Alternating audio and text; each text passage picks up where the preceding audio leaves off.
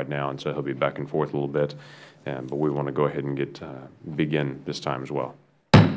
Committee will come to order.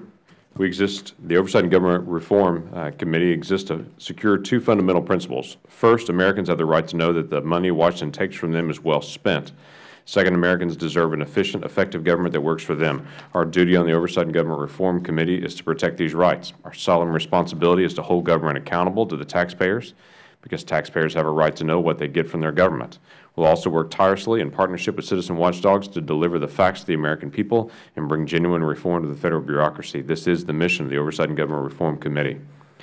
As a nation, we have certain values that characterize us.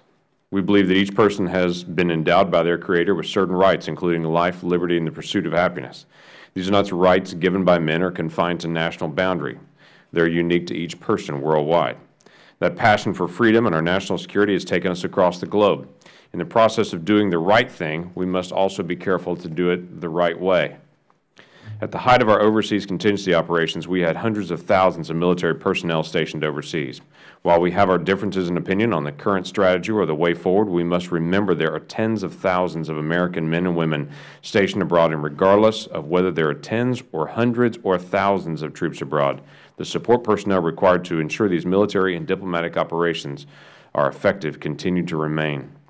Within the confusing maze of contractors and subcontractors who support our operations, there appear to be a less than reputable foreign companies that engage labor brokers who apparently are accountable to no one. They exploit unskilled workers from impoverished backgrounds. We hold these we're told that these workers are taken advantage of in their unconscionably low wages in their work expectations and in their living conditions. The purpose of this hearing is to stop, ask the questions that will confirm or deny these, these accusations. These foreign workers are known as third country nationals, or TCNs. They are the workers who tend to the gardens, wash the dishes, prepare, prepare fast food meals, do the laundry for American embassy workers or military personnel stationed in the Middle East, Iraq, and Afghanistan. They come from countries such as India, Nepal, Bosnia, Pakistan, Bangladesh, Sri Lanka, and the Philippines. They provide what the military calls base support operations, or they are used by embassies throughout the Middle East to perform the menial labor necessary to support embassy operations. According to various accounts, some of these workers have been robbed of wages, injured without compensation, subjected to sexual assault, or held in deplorable living resembling indentured servitude by their subcontractor bosses. Many have paid an illegal job broker fee equal to or greater than their final pay.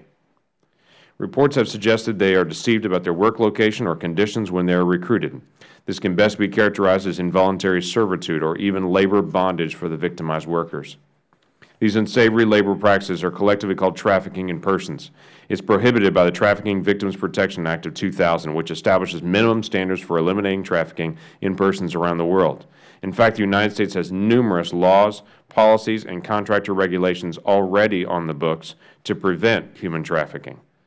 The purpose of this hearing is to explore whether the United States, through its unprecedented use of contractors in war zones and contingency environments, has become an enabler of human trafficking or if we have knowingly turned a blind eye to trafficking. We also want to examine the role of contractors and their subcontractors in adopting these abhorrent labor practices. If our nation is trafficking in persons, we must stop this practice immediately apply every option with abusive contractors, including suspension, debarment, or prosecution, and take the appropriate steps to impose the law. This is not a case where clear law is lacking. It seems to be a case where enforcement is lacking. To examine the facts, we have two panels today. The first panel combines investigative journalists, a lawyer specializing in human trafficking concerns, and experts from Congressional Research Service to describe the problem in more detail. The second panel consists of representatives from the Inspector General's offices of the State Department, the Department of Defense, as well as representatives from the Department of Defense Human Trafficking Office and the Army Air Force Exchange Service to recount their experiences with human trafficking issues and to offer some insight into what they are doing to prevent American taxpayer money from supporting these practices. I look forward to receiving some clarity and answers on this issue. There is no good explanation of why we would still have contractors using illegal recruiting fees, providing inadequate living conditions for TCNs, or violating a multitude of other clear human dignity values. With that, I would like to recognize Mr. Connolly for his opening statement. Thank you, Mr. Chairman. And I agree with you that uh, this is a matter of enforcement. This is a matter of values. There is nothing more abhorrent than taking away human autonomy. Uh, human trafficking is unacceptable under any circumstances. War does not justify it. Uh, the mission doesn't justify it. We cannot and will not turn a blind eye to this practice. And as far as I am concerned, and I think eventually this Congress, uh, Federal agencies will be held responsible. Prime contractors will be held responsible uh, when and if this practice occurs. Um, it needs to be rooted out, stamped out, and ended. Uh, that is as fundamental an American value and a human rights value as exists on this planet. Uh, I am glad you are holding this hearing today, Mr. Chairman, and I look forward to working with you on a bipartisan basis uh, to make sure we end this abhorrent practice. Thank you, Mr. Connolly. Members may have seven days to submit opening statements and extraneous materials for the record. We will now welcome our first panel. Ms. Uh, Wyler is a Senior Analyst for the Congressional Research Service. Mr. Isenberg is an independent analyst and writer specializing in issues involving wartime contingency operations. Uh, Mr. Nick Schwellenbach is the Chief invest, uh, Investigator of the Project for Government Oversight. And uh, Mr. Sam McCann, McCann, McCann, which one? McCann, thank you, is an attorney in private practice and founder of the McCann Law, Law Firm. Pursuant to the committee rules, all witnesses will be sworn in before they testify. Would you please rise and raise your right hands? You solemnly swear or affirm that the testimony you are about to give to this committee will be the truth, the whole truth, and nothing but the truth, so help you God. Let the record reflect the witnesses have answered in the affirmative. Thank you. Please be seated. In order to allow time for discussion, please limit your testimony to five minutes. Uh, your entire written statement will, of course, be made part of the record. Uh, Ms. Wyler, you are first up. Uh, we'd be honored to be able to receive your testimony at this time. Thank you. Chairman Lankford, Ranking Member Connolly, and distinguished members of the subcommittee, thank you for the opportunity to appear today before you on behalf of the Congressional Research Service. My testimony will discuss U.S. policies and efforts to combat international human trafficking among contractors working overseas and representing the U.S. government. Trafficking in persons has been an issue of concern to the U.S. and international policy community for its human rights implications and as a prolific form of transnational criminal activity. Despite international commitments to eradicate human trafficking, recent reports suggest that the United States continues to face challenges in preventing it and related violations in the performance of federal contracts overseas. These challenges are not new. Since at least the late 1990s, U.S. contractors have been implicated in allegations of human trafficking and related violations in Bosnia South Korea, Iraq, Afghanistan, and other countries around the world. These allegations have been of concern to policymakers because they risk tarnishing the reputation of the United States as a country that stands for freedom and human rights principles. They may also undermine U.S. diplomatic efforts to galvanize international support to combat human trafficking. In response to many of the allegations that have surfaced over the years, the U.S. government has sought to prevent human trafficking in the context of a multi-tiered policy framework. This framework consists of international treaties, federal statutes, policy directives, implementing regulations, agency-specific policy guidance, and voluntary best practices. In their current form, U.S. anti-trafficking policies provide for a common definition of severe forms of human trafficking and related offenses. As of December 2002, the U.S. government also established a zero tolerance policy against such trafficking, which applies to contractors. The centerpiece legislation for the U U.S. efforts to combat human trafficking is the mm-hmm. Trafficking Victims Protection Act of 2000, known as the TVPA, as well as its three reauthorizations. The TVPA emphasizes a three-pronged policy approach to anti-trafficking that focuses on preventing human trafficking, protecting trafficking victims, and prosecuting traffickers. The TVPA, as amended, also contains provisions designed to prevent human trafficking in federal contracts. Specifically, the TVPA's 2003 reauthorization allows contracts and subcontracts to be terminated without penalty under certain conditions. These include situations in which a contractor engages in severe forms of human trafficking, procures a commercial sex act during the contract period, or uses forced labor in the performance of the contract. Implementing regulations require that contractors insert an anti-human trafficking clause into all solicitations and contracts. This clause covers, among other provisions, how to address violations, including the application of suitable remedies, such as termination, suspension, and debarment. Additional executive branch regulations apply to certain contracts in Afghanistan and Iraq. For example, the U.S. Central Command's Joint Theater Support Contracting Command mandates additional provisions related to employee passports, recruiting fees, and living conditions, among others. Yet, despite this multi-tiered policy and implementation framework, allegations of trafficking violations and contracting practices that heighten the risk of trafficking appear to continue to take place. The U.S. Commission on Wartime Contracting has highlighted possible incidents related to human trafficking involving labor brokers, contractors, and subcontractors in U.S. contingency operations overseas. Several reports by U.S. Inspectors General offices have also, in recent years, identified problematic contracting practices overseas that raise the risk of human trafficking and related violations. Some observers have begun to wonder why, after decades of strengthening U.S. and international policy against human trafficking, do such violations continue to occur? Is the existing legal or regulatory framework sufficient?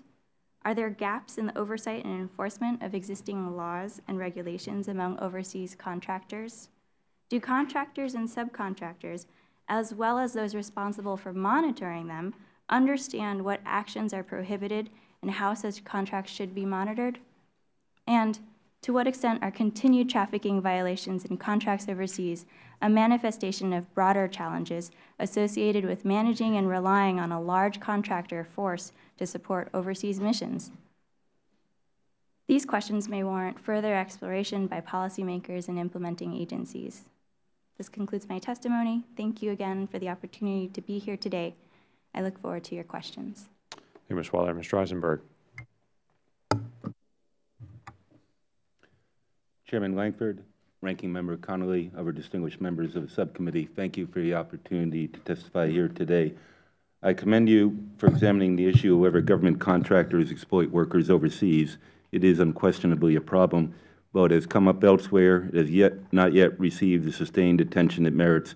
The Commission on Wartime Contracted Contracting in Iraq and Afghanistan noted in its final report, U.S. contingency contractors, opportunistic labor brokers, and international criminal organizations have taken advantage of the easy flow of people, money, goods, and services to capitalize on the sources of revenue and profit. Their actions bring discredit to the United States and act as a barrier to building good diplomatic relations. This subject also means you have to look at the relationship between prime contractors and their subcontractors, which is another linked problem. It is often to cite Winston Churchill, a riddle wrapped in a mystery inside an enigma. As proof of this, you have to you don't have to look any further than last week when the International Stability Operations Association, a major trade association for an industry, held their annual summit. One of their workshops was entitled Performance and Pitfalls of Subcontract Management. I'm pleased to be here to discuss the Najla episode revisited report that I co-authored with my colleague Nick Schwellenbach of POGO, which came out earlier this year. In interest full disclosure, I should mention, though I fully uh, commend POGO for allowing me to uh, come to them with the information and publishing the report. I don't speak for POGO. Uh, first, let me address why is this important. For years, industry advocates have been claiming that thanks to private military and security contractors, U.S. military forces have the best supplied military in any military operation in history.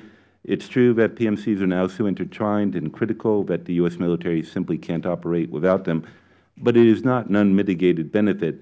Many PMCs have problems implementing contracts. Some have committed outright fraud, as you know, thus wasting U.S. taxpayers' monies and indirectly negatively affecting U.S. military operations. Second, our report documented various violations of the law and irregularities which with regard to third country nationals. Some people may say this is unfortunate, but since nobody was wounded or killed, what's the big deal? The answer is twofold. First, as any competent military commander will tell you, wars are not fought and won by machine and tools. They are fought and won by people.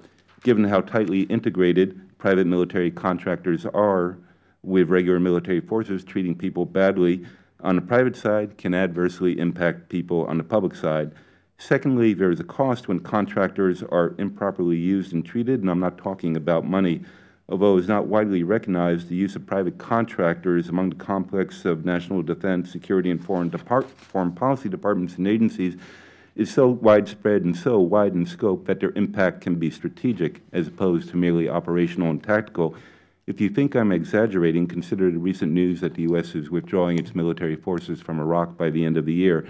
This was not done because the Obama administration wanted to do so. It was done because it could not work out a deal regarding immunity for U.S. military forces. But given the events of September 2007, when Blackwater security contractors shot and killed 17 Iraqi civilians, no Iraqi government was ever going to be able to grant an immunity deal. Now, like it or not, that's strategic impact. In other words, there is a reputational cost when contractors do bad things or are treated badly. Third, while industry officials and advocates say they often welcome regulation, it often comes with a caveat that it should not be intrusive or burdensome. They note they often they already comply with existing laws while it is true that existing regulation could interfere with the proper functioning of the private sector, it is equally true that the unconstrained activities of the marketplace, especially in the chaos of battlefields and war zones, is a recipe for problems. In the truth, free market and regulation can go together. Finally, contractor advocates also point to their own efforts to ensure ethical conduct, notably through codes of conduct. While this is commendable and perhaps someday uh, even useful, it is hardly sufficient. At the present time, uh, their mechanisms are, for enforcement are largely theoretical and not resourced, and uh, there are no people or money put behind them. Right now, they operate on the Joe Isuzu principle, which is to trust us. My response is that we should heed the words of Ronald Reagan and trust but verify. Uh, finally, even if a company does have high standards uh, for ensuring ethical conduct, it all falls falls apart when it comes to subcontractors.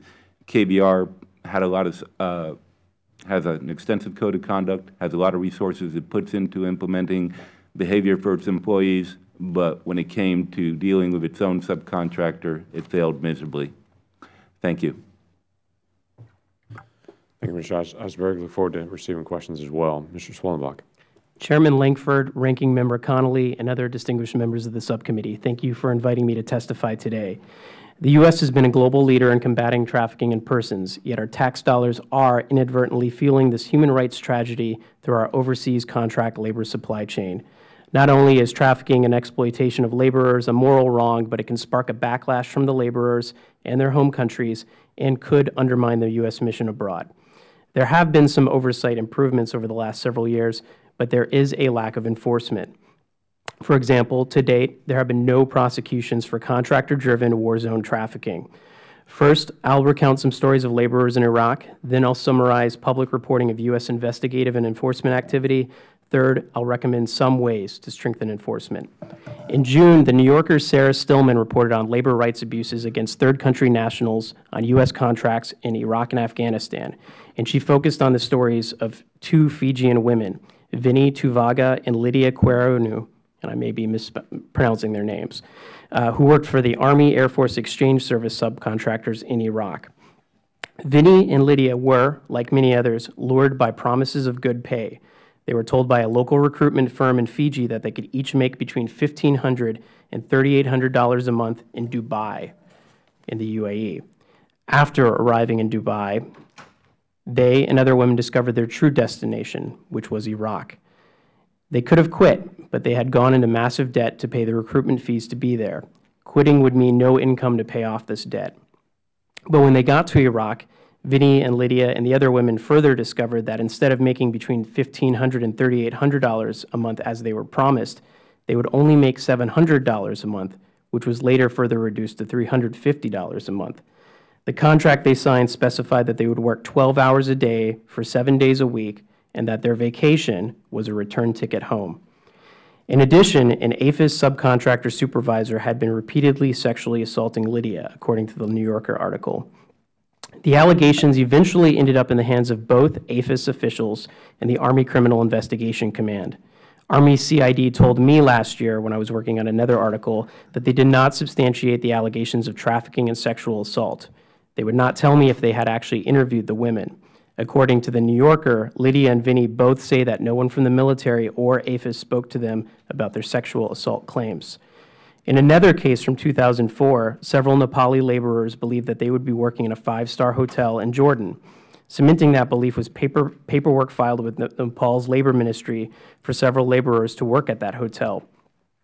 The recruiting fee charged each laborer meant that they and their families were deeply in debt, but the promises of lucrative pay made the debt seem like a good deal. Furthermore, the manager of the recruitment firm told the Chicago Tribune that he didn't mention anything about Iraq to the applicants. They believed they were going to Jordan. But after they arrived, the Jordanian brokers demanded that the Nepalis surrender two months' pay as a fee, in addition to the recruitment fee, and accept less than half the salaries promised them in Nepal, and that they go to Iraq. According to the Tribune, their families told them that they must go to Iraq to cover the loans used to pay a Nepalese broker $3,500 for each man, more than a decade of earnings for the average Nepali laborer. The Amman to Baghdad highway, which runs through Iraq's Anbar province, is dangerous even for convoys guarded by security details. But 12 Nepali laborers did not have the advantages of having a security detail. They traveled this route, were kidnapped by insurgents, held for weeks, and killed. I'll skip an example. Uh, Looking at overall enforcement activity over the last several years, there have been a few investigations, but there were no DOD investigations into trafficking in both 2006 and 2007, according to the DOJ. The section detailing DOD investigations is missing in 2008 and 2009 reports.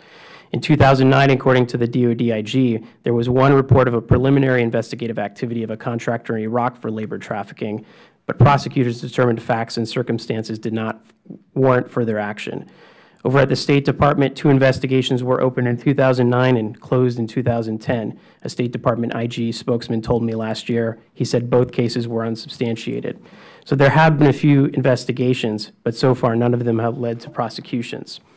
There was also a civil action where the DOJ joined a whistleblower lawsuit earlier this year, and the company settled to, uh, quote, uh, in, the, in the litigation. Uh, but what can be done to improve enforcement? Investigators clearly need the resources they, uh, that they require. The SIGOCO, or Special Inspector General for Overseas Contingency Operations, may be one way to do this. They also need to be trained in investigating trafficking and persons violations. And uh, jurisdictional ambiguity should be closed with the Civilian Extraterritorial Jurisdiction Act. Thank you for, for, for this opportunity. I'm open to questioning. Thank you, Mr. Schwalbach. Mr. McConnell. Chairman Lankford, Ranking Member Connolly, members of the committee, thank you for inviting me to testify before you today, and thank you for taking an interest in the practice of modern-day slavery on government contracts, and thank you for your commitment to take decisive action in this area. I lived approximately nine and a half years in the Gulf region, Kuwait, Iraq, Saudi Arabia. Trafficking in persons is not a unique phenomena to government contracts.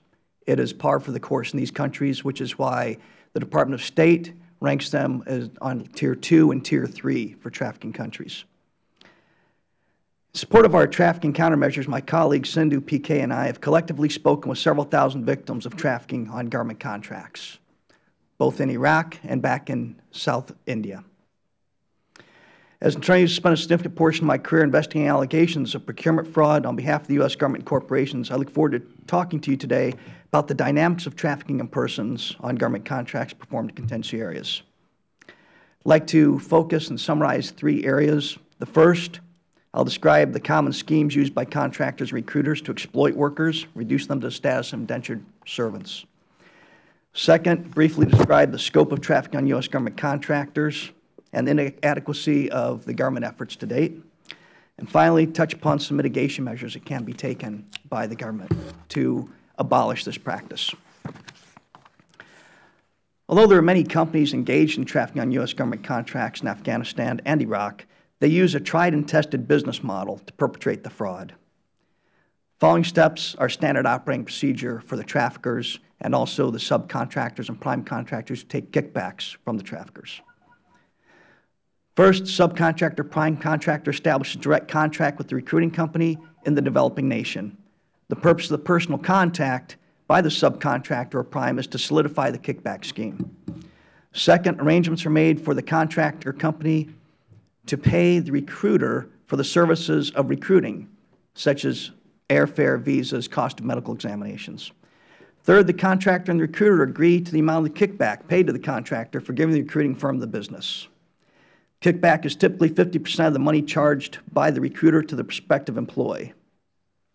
This is where the violation of the Anti-Kickback Act of 1986 occurs.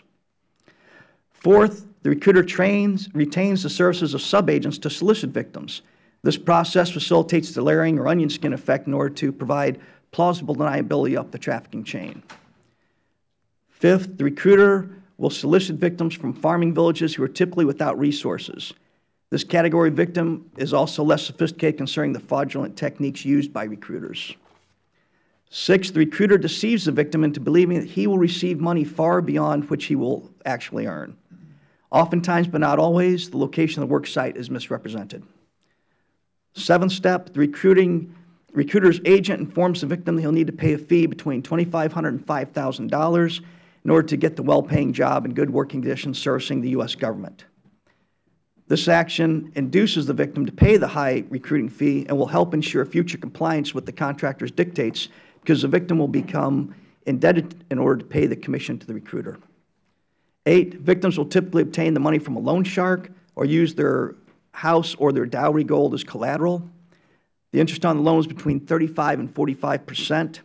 The money paid to loan shark must be provided to recruiter or subagent prior to departure for the work site. Workers are not provided a written contract prior to the departure from their host nation.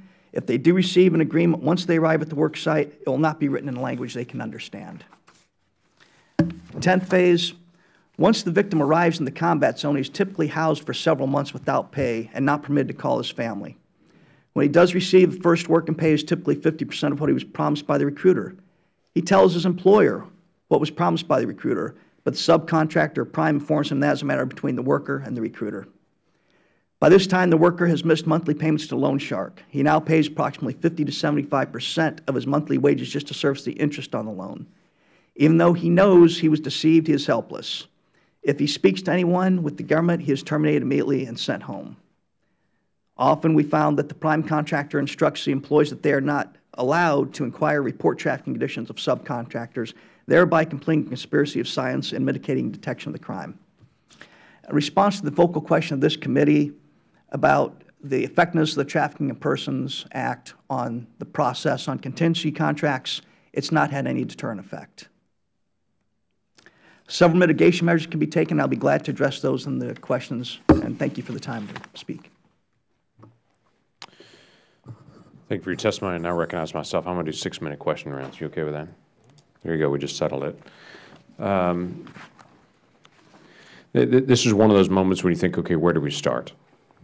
All right, let, let me begin here. Do you feel like, anyone can answer this, that we have the right policies and regulations in place? Because this is not some new feature that we've never heard of. This has gone on now 20 years. Uh, all the way back to Bosnia, they were very aware that this has slipped into our subcontracting and contracting process for overseas contingencies. At this point, we have added new laws, added new regulations, added new policies, added new procedures over and over again, added new officers and lead in it, yet we still have stories of this occurring. Do we have the right policies and procedures and regulations in place in your perspective? And anyone can answer that at this point. You go ahead. Chairman Lankford, members of the committee, I, I do believe we have the right regulations in place. The problem is transparency and reporting. There are not enough agents on the ground to report this conduct. It has to be the responsibility of the prime contractor. But now the prime contractor has no incentive and all the disincentive in the world to report the conduct. It makes the prime contractor look bad if they do report it, and they get no incentive for engaging in reporting. Okay. Yeah, let me, I'm going to come back to that. Anyone else have another comment to add to that? Mr. Isenberg?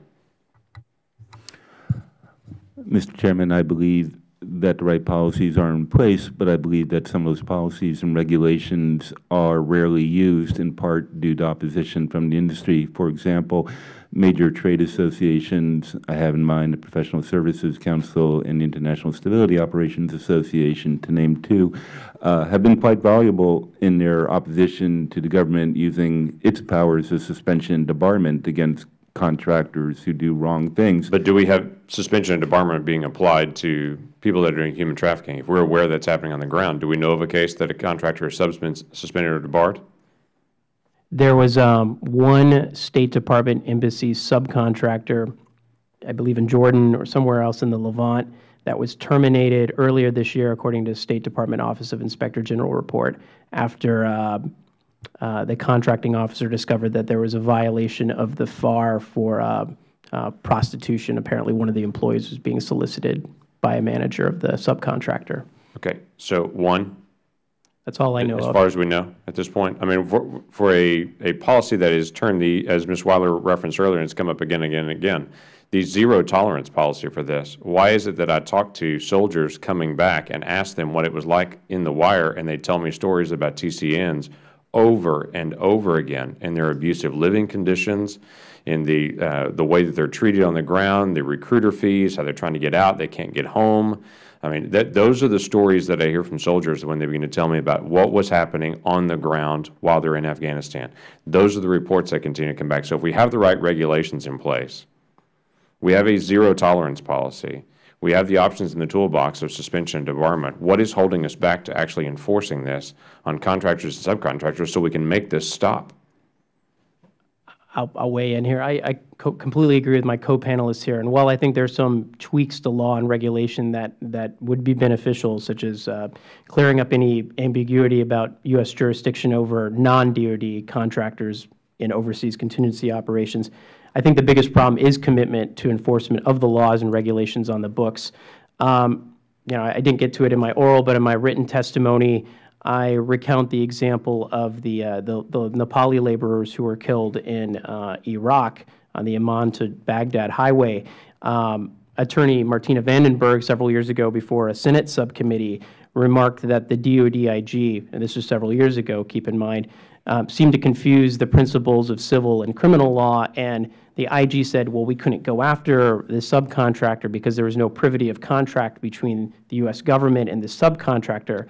But this was a criminal matter, and according to the Military Extraterritorial Jurisdiction Act, uh, uh, you know, criminal uh, jurisdiction extends to all tiers of subcontracting. Right.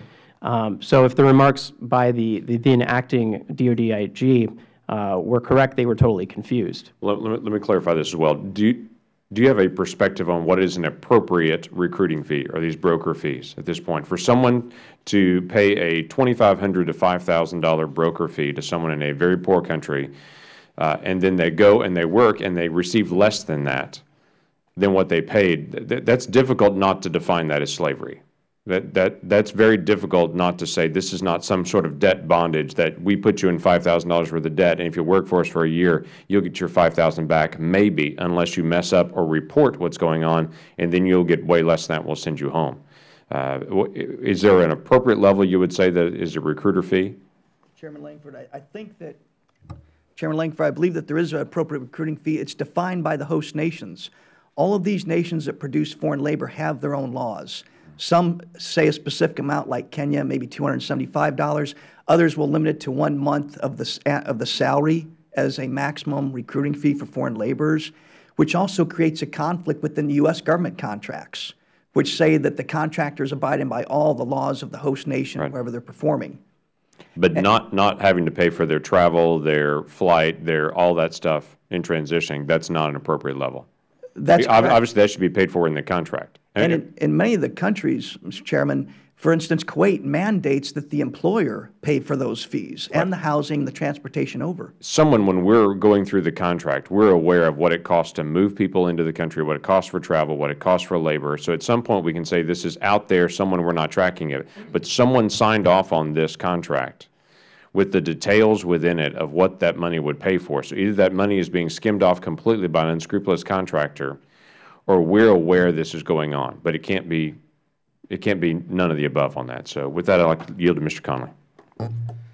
Thank you, Mr. Chairman. And as I said in my opening statement, I, taking away human autonomy is perhaps the most abhorrent crime imaginable. Uh, and uh, it occurs with murder, and it occurs with human trafficking. Uh, what you've described is a process of, at the most charitable phrase, indentured servitude. Uh, and that's being charitable. Uh, Ms. Wyler, you noted that the 2003 TVPA directed agencies to cease contracting with firms that engage in human trafficking or which sexually abuse their employees. Is it correct that not a single case of trafficking or sexual assault has been prosecuted under this statute or the 19 other laws, executive orders, and DOD memos banning such trafficking and abuses? Representative Connolly, thank you for your question. Unfortunately, issues related to the U.S. criminal justice system and the status of prosecutions in U.S. courts are beyond the scope of my expertise. And I'm, but I'm happy to share your question with my colleagues in the American law. Are you aware, Ms. Wyler, of a single prosecution? As far as I know, according to the State Department's last two reports, uh, there have not been uh, prosecutions. Right. Uh, Mr. McMahon, why? Uh, One thing I gleaned from your testimony, if I can interrupt, we've created a system of disincentive for reporting. The prime contractor gets dinged if he is diligent and says, you know, I've encountered a case here, I think we need to pursue it. He actually loses if he does that, if I understood your testimony. I believe, I believe that's correct. sir.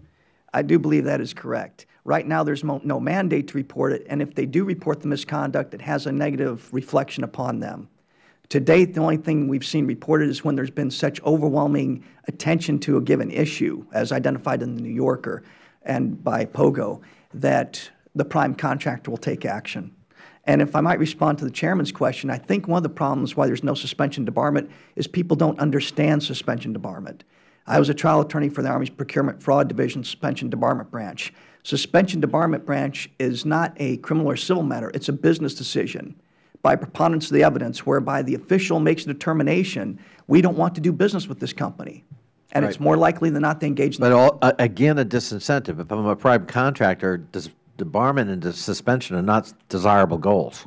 That's correct. So why would I want to risk that? And it seems to me we've got the wrong set of incentives and disincentives in place if we want to really deal with this. Now, I, I'm- I asked Ms. Wyler, and maybe wrong person to ask, but I, I'm unaware of a single case being prosecuted. Are you, Mr. McMahon?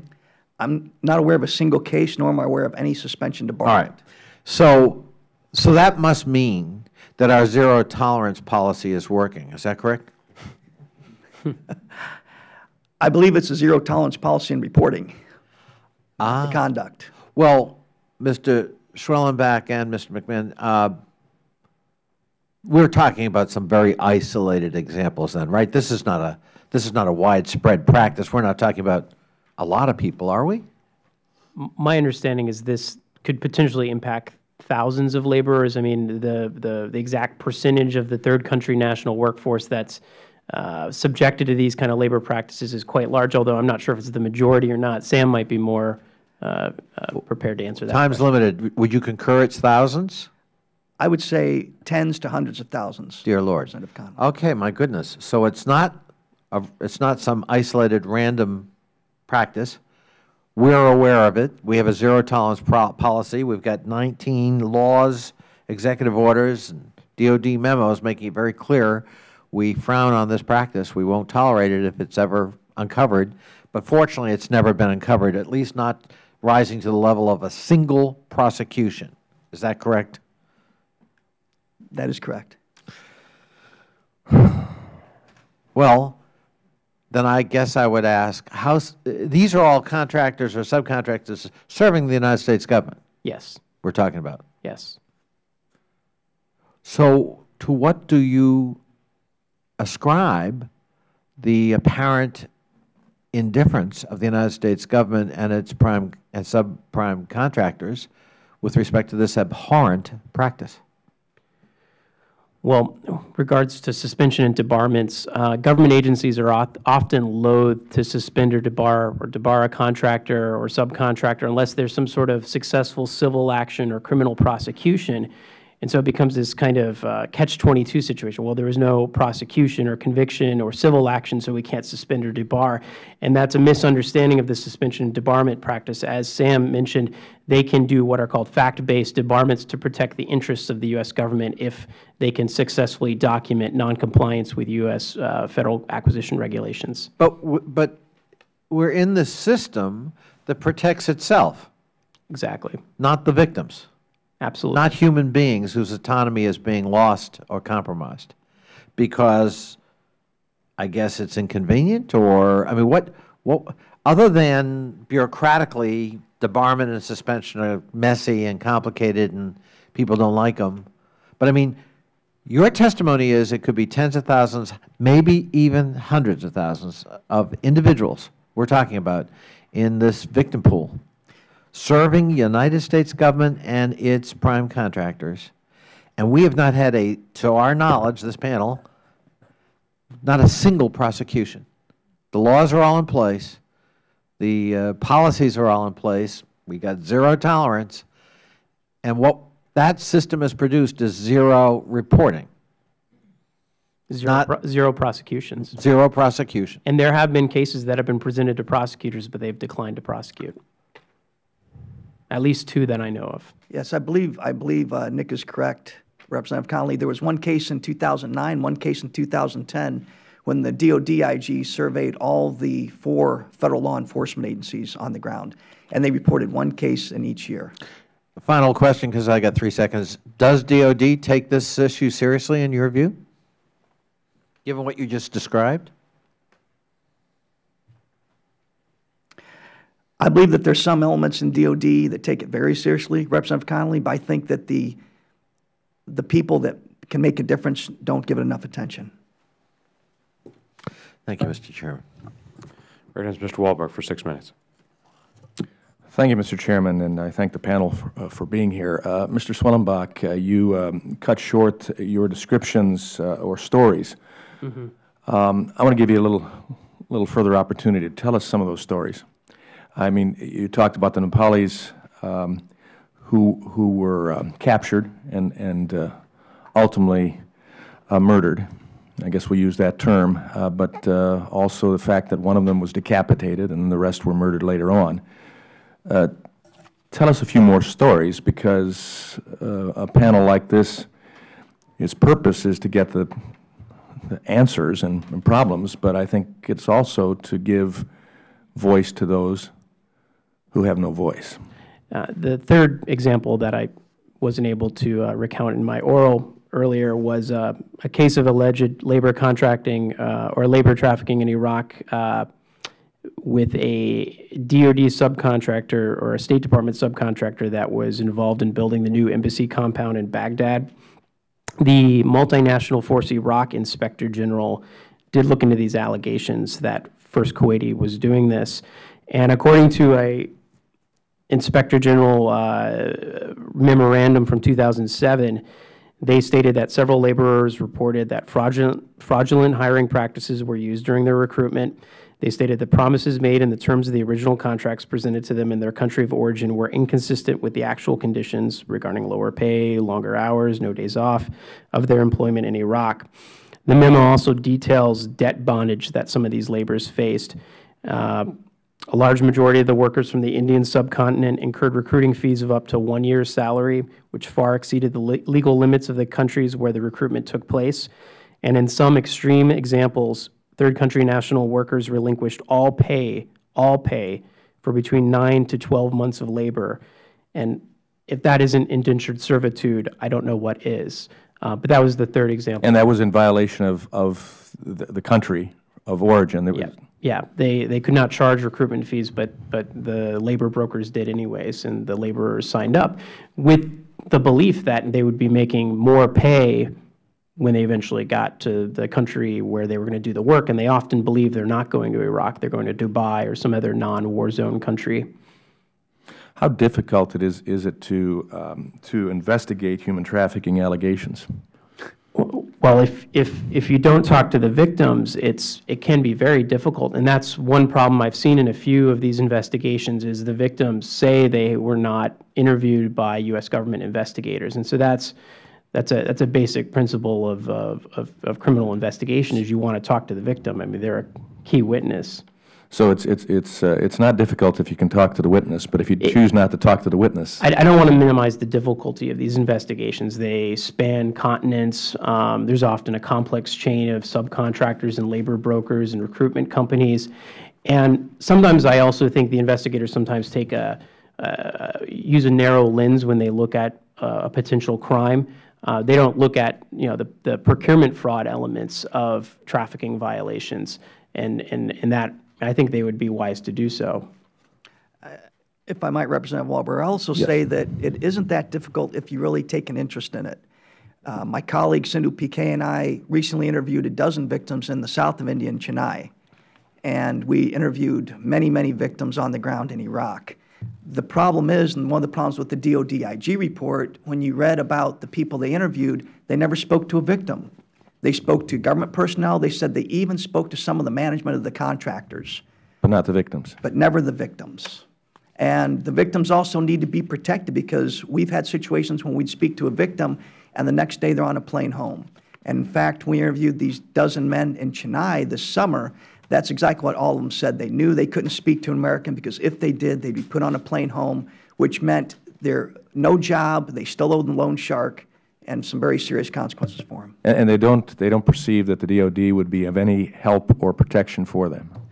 One of the things that we found was echoed in Sarah Stillman's comments in the New Yorker, that if, please tell the American people, because if the American people know what's going on here, they will help us. And we had heard that several times in our interviews. They believe that if the American people know what, how they're being treated, that we would help them. Mm-hmm. Mr. Isenberg, uh, what needs to happen to increase oversight and enforcement?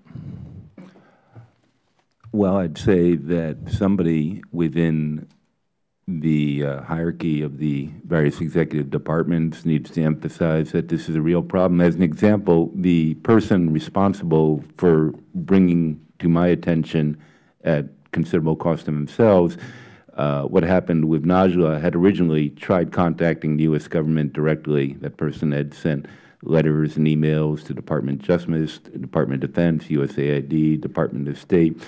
Um, it was not until With no results? no results, ex- except that earlier this year, that person finally got uh, contacted uh, initially vi- via email more than 10 months later uh, after that person had originally contacted that agency to say, we're in receipt of your email and would like to talk to you more about it. Uh, Subsequent, since then, uh, there have been an interview of that person and phone calls, and presumably they are now looking into it. Um, where the status of that is, I don't know, but, but clearly there's no excuse in my mind for a 10-month delay between receipt of information and, you know, getting back to that person. Okay. I thank you. Thank you uh, for uh, bringing light. Yield back. Thank you, Mr. Walberg. Let me, let me do a quick question as well. Um, On the investigation side, I, mm-hmm. I could fully appreciate this becomes quickly a he said, she said, where an investigator goes in, talks to a third country national who's terrified and says, I paid $5,000. There's a language barrier. There's all kinds of difficulty in the investigation there. Then the subcontractor or the prime, either one says, no, we didn't do that. No, our recruiters don't. Can you find that recruiter? No, that's just some firm we used overseas. So validating these things, I would assume would be incredibly difficult to do. The problem is just the frequency of the number of stories. You would assume someone would rise up and say, we have to start tracking this in some way. Right or wrong on that? Uh, You're, you're absolutely correct, Chairman. Um, I mean, building an airtight criminal case can be quite difficult, especially when you have, you know, that kind of he said, she said situ- situation. But um, I think if there was, eh, there's certainly, I think, plenty of opportunities to build criminal cases. And I think a high-profile criminal case that leads to success, successful conviction could have some sort of deterrent effect. Uh, and, and I do think given the, the plethora of allegations out there, I think something could be made of, of at least some of those. Right, but you go back again to suspension and debarment does not have the same threshold. Exactly. uh, You have a lower- you have a lower, uh, At, at a minimum, so the, the, the tools and the options are out there to do something. The question is, are we doing anything other than saying it has to be included in the contract, which even then, through the statistics, even, even the basic statement of the FAR, and that we don't do trafficking in persons, that's not always included in contracts. Yeah, as the DODIG has found in some of its audits, uh, some of the contracts that need, all the contracts need to have this Right. clause. Some, sometimes the clause is just missing. Uh, But you're absolutely right, suspension and debarment could be a tool used to protect the government's interests, and it's not used enough. And Chairman Lankford, I'm also, I would also mention it's not as difficult as it might appear at first. What the subcontractor usually does is deny the representations made by the recruiter. One need only see who entered into the agreement with that recruiter to start their investigation. That's the person who has the responsibility. What we have found is oftentimes there is no paper trail. The contractors say, well, we don't really have a written agreement with the recruiter. We'll say, well, how do you flow down the clauses then that are mandatory? And which goes to the whole suspension debarment. I think that it is difficult to prosecute these cases because of the jurisdictional issues and also the distance and language barriers. It isn't difficult to do a fact-based debarment. Okay. Mr. Connolly, would you like to have some questions as well? Well, it's exactly that area I wanted to ask you about, Mr. McMahon, because in listening again to your testimony, it seems to me that, uh, well, first of all, this is all about money. So frankly, going after criminal prosecution may be ideally a good thing to do down the road, but what we need to do is change the incentive-disincentive system, and it's all about money, for recruiters, for the workers, the lure of that money, and for the subcontractors who are you know, getting paid by the United States government through the prime. But it seems to me that what, the system you described in your 10-point sort of list, the, the weak link is the recruiting, potentially. If we really want to go after this practice, requiring documentation, working with the host government at getting at deceptive practices, uh, laying out in more contractual terms exactly what's expected and exactly what's it going to cost and how we document that those payments are made or not made, or they're exorbitant or they're not. Could you talk just a little bit about that? And what is the United States government doing back in the host country with those recruiters? I'd be glad to address that, Representative Connolly. One of the things that the U.S. government can do is mandate in the contract that every worker receive a copy of their contract prior to departing their host nation in a language that they understand, in their host nation language. Doesn't cost anyone anything. Because you hit it upon the head, the crux of this is deceptive recruiting. It's all deceptive recruiting about where they're going to work, how much more they're going to make paying the commission. Another thing that they could do is make the subcontractor required to compensate that individual one day after they depart their host nation. The men we talk to languish for months in warehouses until they can be pulled off the shelf like a widget and then supplied and put into the supply system. They get no money, only subsistence food. They're not making payments to their loan sharks or anything like that. So you could make the subcontractor require to be responsible and also make sure that these recurring agreements are in writing. Very few people we talked to ever had a contract. And uh, so those few simple steps would mitigate this significantly. And, and it has, has, to your knowledge, has there been such discussion with DOD and in imposing such requirements so that we can try to get our arms around deceptive recruiting practices? Uh, my colleague and I have forwarded a summary, a four-page memorandum on solicitation strategies and contract provisions that can be used. We forwarded to DOD and Department of State for consideration. When? To Department of State about 15 months ago, and to the Department of Defense maybe about six or eight months ago. And the reaction? We have worked with the chief of the CTIPS operation at DOD, and I believe they're committed to this. And we recently spoke at a conference, a CTIPS conference in August on the topic. You've spoken about it at a conference, Yes, sir. but there's been no formal response in 15 months to your State Department memo or in six months to your DOD memo. Uh, Not to the State Department at all, sir. When, let me ask this question, uh, again on the recruiting side. obviously, when a recruiter, it's one thing to engage in deceptive practices on the financial end, but the purpose of your labor is a different matter. If I'm recruiting and I tell you you're going to go to a five-star hotel and you're going to serve fancy-dancy clientele and you're going to be rich from the tips alone, and instead, actually, I'm actually luring you into a prostitution ring where you're serving whoever in Iraq or some other war zone, uh, presumably somebody at the receiving end knows full well what I'm doing, and so do I. The only person deceived is the poor victim. Yes. Um, what has been done to try to crack down on that practice, uh, that aspect of human trafficking? To my knowledge, Representative Connolly, nothing's been done. I spoke at a conference in 2007 specifically entitled Things That Government Contractors Can Do to Mitigate Trafficking. And there was a uh, major contractor that spoke ahead of me who was Vice President of Contracting, uh, currently one of the LOGCAP contractors. His response when he was asked what they were doing to mitigate trafficking, he said, we have no privity of contract with the employees of the subcontractor, therefore we're taking no action. It's not our responsibility. So I think what we see is all the way down the trafficking chain, people disavow the responsibility for it.